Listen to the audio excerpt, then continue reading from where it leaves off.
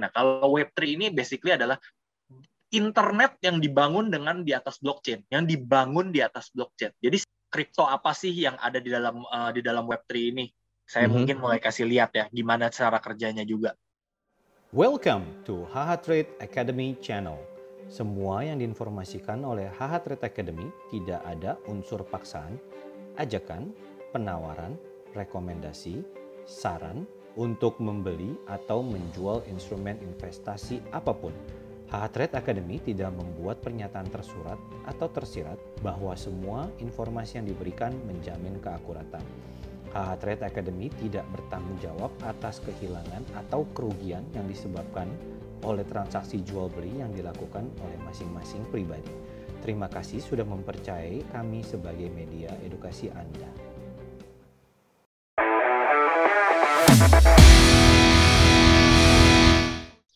Halo guys, welcome back. Hari ini kita udah masih ganti channel, udah channel baru, sorry, udah bukan channel, ganti channel baru di HH Trade Academy channel. Um, back with my bro um, Hansen, the analyst. Hello, hello. Osvaldo, hello brother, hello, and also my bro Kevin, the hodla. How are you, bro? Hello, bro. Yes, yes, yes. Um, malam ini gue kita coba pengen ngobrol-ngobrol dikit ya, bro ya. Um, kalau sekarang ini lagi ngetren banget yang namanya Web 3.0, bener ya, bro ya? Lagi yeah, hype banget. Semua orang um, um, trying to go into it. Masalahnya apa sih Web 3.0? To be honest, gue sendiri pun belum um, ngerti sama, sama. Um, that much. So, Bro Kevin, I think the state is yours. Tell us what you think and you know. Oke. Okay. Jadi gini. Show us. Uh, yep.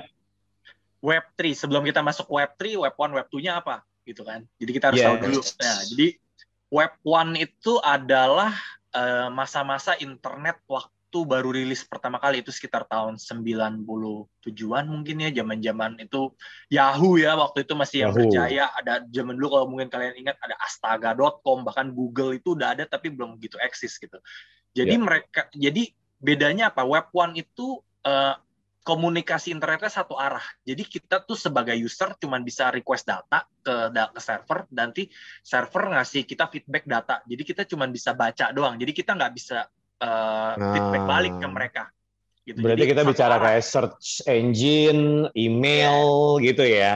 Bahkan email tuh udah mulai agak semi dua arah ya walaupun butuh yeah. waktu gitu ya. Nah, yeah. nah contohnya nah upgrade lah dia masuk ke web 2.0. Web 2.0 itu kapan? Sekarang. Sekarang nih kita lagi di masa web 2.0. Itu adalah era-eranya sosial media. Ada mulai hmm. Facebook, hmm. ada ada uh, Instagram, YouTube, uh, you name it lah zaman dari dulu ada pet nama ada Twitter. Nah ini tuh ketika server da user dan klien which is adalah servernya ya Facebooknya ini nih bisa saling komunikasi. Jadi kita tuh bisa komunikasi antara sesama user di situ. Jadi mereka tuh bisa ngumpulin data kita. Jadi tahu yang trending tuh apa yang lagi trending tuh di antara para user di Facebook tuh apa. Nah mereka ah. bisa collect data itu dan mereka bisa ngefit balik data yang kita request dari mereka gitu loh. Dan Jadi, monetize itu juga ya. Dan monetize itu juga. Makanya yeah, mereka okay. kan punya kumpulan database tuh. Makanya kenapa Facebook jadi salah satu perusahaan terkaya karena hmm, yeah. mereka ngumpulin database semua orang di seluruh dunia gitu loh. Yeah. Mostly yang yeah. yang pakai Facebook lah, which is hampir semua orang. Nah, yes. Web3 itu apa? Web3 itu adalah sistem arsitektur baru nih kalau kita ngomong di web 2 itu uh, ada semua data dikompil di server Facebook megang data kita. Lalu nanti kita tinggal connect ke server Facebook, Facebook kontak balik. Nah, kalau web 3 ini basically adalah internet yang dibangun dengan di atas blockchain, yang dibangun di atas blockchain. Jadi sistemnya tuh peer to peer, jadi decentralized lagi. Supaya oh. kita nggak bisa ibaratnya tuh kalau ngomong tuh kita punya privacy tuh lebih terjaga. Jadi mereka tuh mungkin kalian sering ngerasa gini, abis Google sneaker gitu habis Google Jam nanti tiba-tiba lagi baca artikel apa iklan oh. Tokopedia keluar iya, sneaker. Iya, iya. Benar iya. Nah, itu tuh targeted marketing karena mereka tuh baca cookie kita. Jadi mereka tuh tahu, oh hmm. ini orang nih lagi nyariin sneaker nih. Kebenaran nih Tokopedia ada yang pasang iklan sneaker, dia langsung taruh prak nih lu dari Betul. sneaker ini kan tadi tinggal klik. Betul. Nah, inilah sebenarnya yang udah breach privacy kita sebenarnya. Itu yang uh, salah satu yang banyak orang komplain gitu. Itu namanya targeted marketing. Nah, yeah. even sejak... gue denger kok oh, yang advertising itu bro, nggak cuman cookies gitu loh. Kemarin itu ada yang coba, ini hmm. yang gue tahu ya, Jadi um, si mikrofon yang ada di handphone kita itu even detect um, yes. most um, words yang kita lagi saying throughout the day. Itu iya, gila betul. banget sih. Dia itu coba gila. riset itu, gue liat videonya, um, dia lagi ngomongin tentang kamera, terus sama temennya dari chatting WhatsApp atau dari apa pun itu, tiba-tiba pas dia lagi buka uh, talk uh, apa marketplace atau Google, ads yang keluar tuh kamera. Dia sampai kayak yeah. gila men, gue not even Google kamera hari ini, gue cuma ngobrol sama temen dan uh, WA sama WhatsApp sama teman-teman dia, iklannya pop-upnya kamera, gue kayak, wah iya. itu gila sih memang Privacy itu salah satu private apa ya kita tuh di zaman di era digital ini serba karena informasi super cepat ya perpindahannya itu salah satu yang ke bridge adalah privacy kita gitu makanya banyak orang-orang yang kayak orang-orang yang kaya kayak elit-elit lah yang kayak Mark Zuckerberg gitu. Mereka tuh saking parnonya itu kalau beli laptop atau punya webcam sama dia tuh di, dikasih stiker di ditempel. Iya. Mikrofonnya dicabut, jadi mereka nggak bisa dikuping, nggak bisa dikupingin sama orang gitu loh. Ya benar, untungnya benar. karena kita mungkin bukan artis atau apa, nggak ada yang kita juga. Maybe ya yeah. kita juga nggak tahu. Yeah. Cuman memang bisa, karena setiap kali ketika kita download apps apa, dia akan selalu minta permission. Access, yes. permission to access gallery, permission to access microphone, permission to access uh, kamera. Nah, itu sebenarnya yeah. permission yang kita bisa, mereka bisa pakai itu buat ngintai kita sebenarnya. Nah, Betul. dengan dengan adanya Web3 ini, karena nggak perlu ada center, nggak perlu ada data centernya gitu, nggak perlu ada servernya. Jadi seperti sistem blockchain pada umumnya. Jadi gini, uh, kita ini yang di dalam network contohnya kripto apa sih yang ada di dalam uh, di dalam Web3 ini saya mm -hmm. mungkin mulai kasih lihat ya gimana cara kerjanya juga eh yeah. disable oh, wait sudah jadi uh, contohnya ini salah satu koin-koin yang kripto uh, yang memang basically dibangun di atas Web3 ini. Ini adalah Chainlink. Nah, kalau Chainlink ini sebenarnya dia itu uh, lebih ke arah smart contract lah. Dia tuh kayak Oracle. Kalau kalian tahu kayak mungkin zaman kuliah dulu ada yang pakai sistem apa kalau misalnya lagi mau ngambil programming ya. Kelas tuh Oracle yeah. gitu. Atau SAP lah kita gampangnya kalau perusahaan-perusahaan gede pakai. Nah, ini adalah si Chainlink ini adalah Oracle untuk di internet di internet of blockchain ini. Nah, hmm. mungkin ini agak susah kita ngomong tapi Chainlink ini salah satu blue chip jadi kalau kalian mau belajar, mau tahu, ini juga salah satu yang paling bagus. Nah, mungkin yang lebih gampangnya kita ngomong ini aja, Teta. Nah, Teta ini kayak YouTube, tapi YouTube yang nggak mhm. punya server.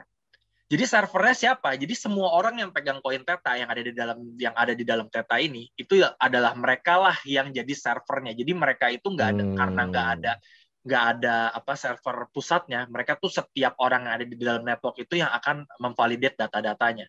Jadi tapi dengan memvalidate kan berarti biasanya kita harus nge-stake proof of stake nih pakainya. Ya. Ketika yeah. kita harus nge-stake dapat insentif apa buat gue yeah. ya. Kita harus dapat insentif. Nah, Teta ini ngasih insentif juga untuk hmm. untuk kita yang hold petanya gitu lah. Nah ini ini gue coba breakdown sedikit. Mungkin jadi kayak kayak miner ya. Miner itu kan harusnya yeah. apa namanya? Mereka harus verified semua transaction yang terjadi antara user masing-masing blockchain yes. ke blockchain.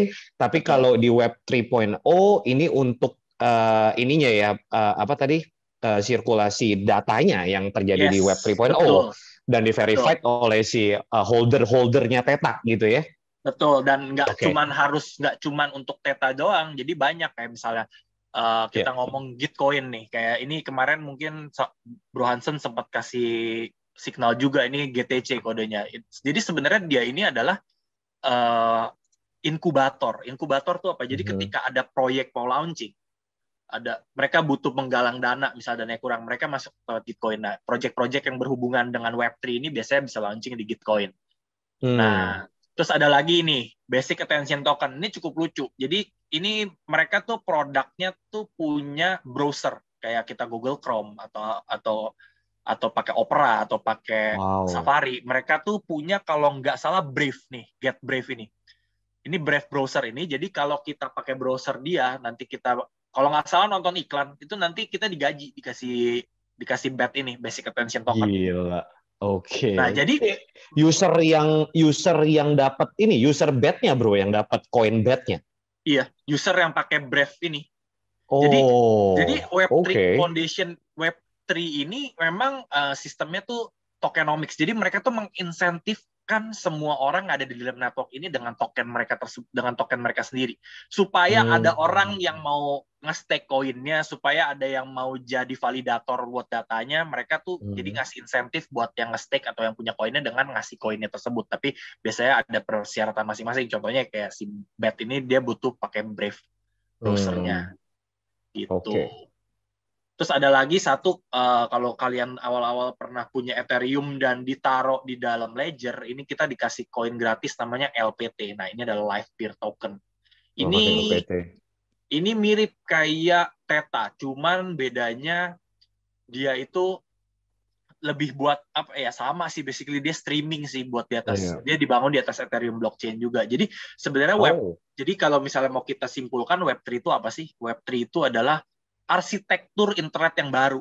Jadi nggak selama ini kita nggak centralized internet lagi yang which is adalah harus ngefit data dari server Instagram, harus ngefit data dari server Facebook. Nah, kali ini tuh semua orang yang ada di dalam let's say network ke live peer atau network ke Teta, itu kita semua tuh saling membagi data, saling cross check data, bener nggak? Jadi kita mungkin dengan adanya Web3 ini ke uh, bagusnya ke belakang tuh kita nggak dengan mudah kena targeted marketing mungkin dan kita yeah. punya privacy juga lebih terjaga lah ibaratnya.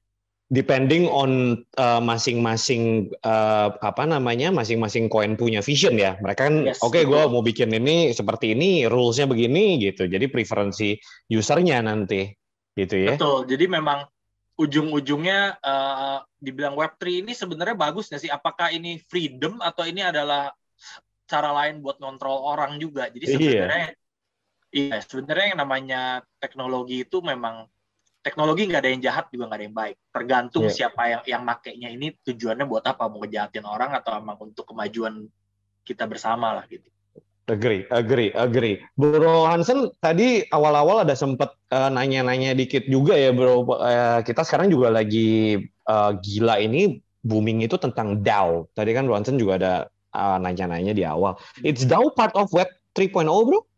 Jadi gini, sebenarnya DAO itu adalah salah satu infrastruktur dalam blockchain. Jadi karena blockchain itu basically peer-to-peer, nggak ada trusted third party, maksudnya nggak ada satu badan khusus yang untuk mengawasi kegiatan yang ada di dalam blockchain ini ketika tukeran data atau validating yeah. transaction. Mereka bikinlah namanya DAO. DAO itu singkatan apa? Decentralized Autonomous Organization. Jadi artinya okay. apa? Itu dia itu seperti badan yang terdiri uh, seperti sekumpulan orang-orang yang ada di dalam network ini. Jadi semua orang sih basically, semua orang yang ada di dalam network ya. ini komunitas yep. yang megang token dari dari ekosistem tersebut, mereka tuh punya kemampuan buat punya hak buat voting lah.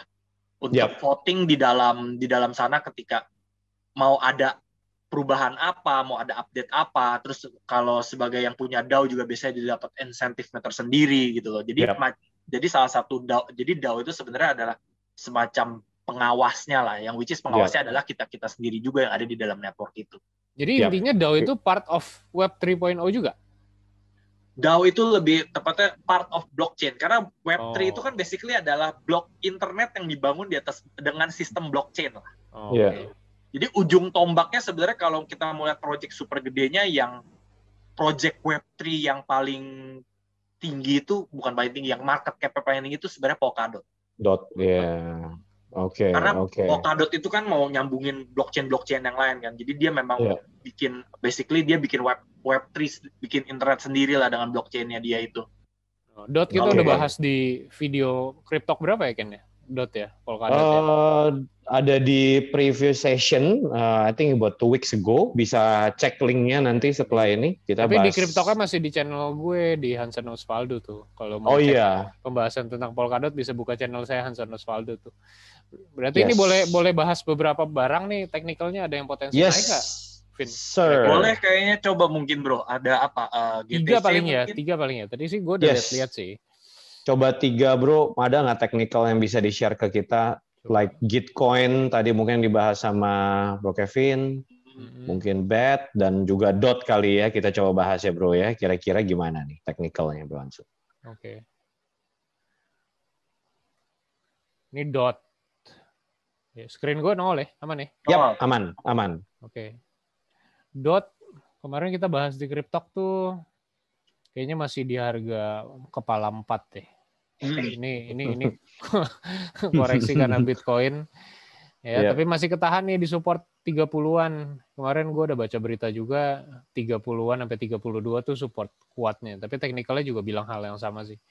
Oke. Okay. Kalau mau invest uh, cukup recommended nih dot nih di harga 30 sampai 30-an sampai 36 ini loh.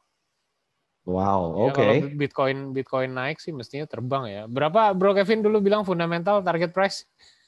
Fundamental ya syukur alhamdulillah 100 dolar, Bro. Uh, itu masih konservatif ya, Bro ya. Konservatif. Iya, konservatif.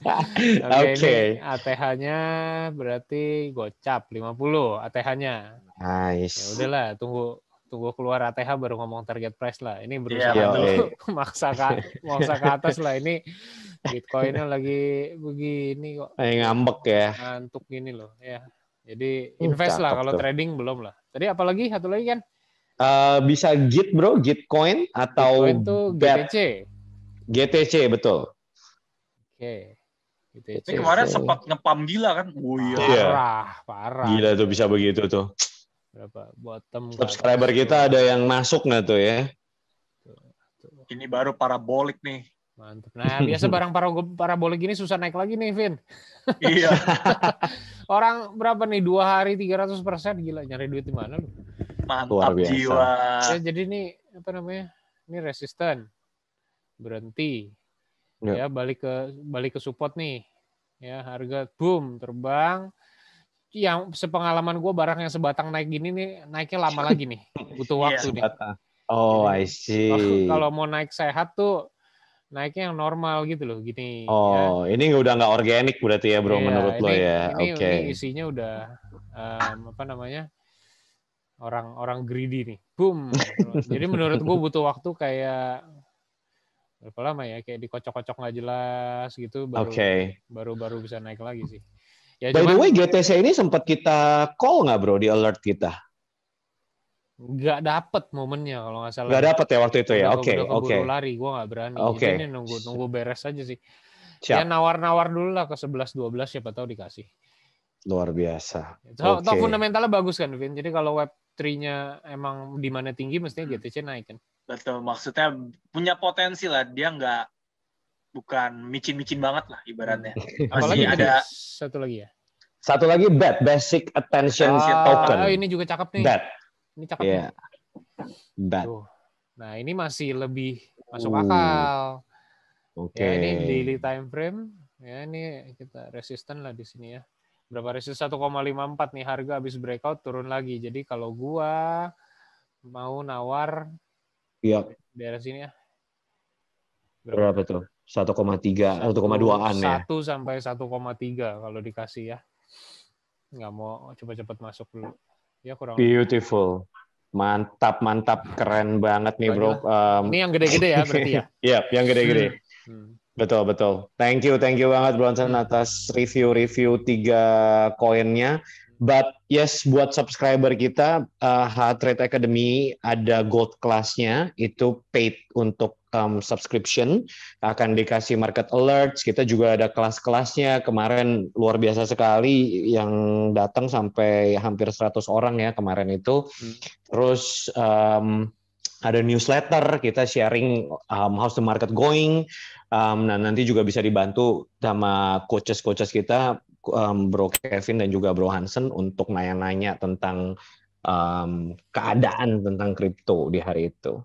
But thank you for tonight, Bro Kevin. Hari ini Bro Hansen, thank you banget thank atas you, um, preview-previewnya Web 3.0. Here we come, ready or not ya. And guys, let us know what you guys want us to talk about next video. Subscribe, komen juga, share juga ke teman-teman semua apalagi yang menghobi kripto. Oke? Okay? See you guys. Crypto out. Bye. Bye.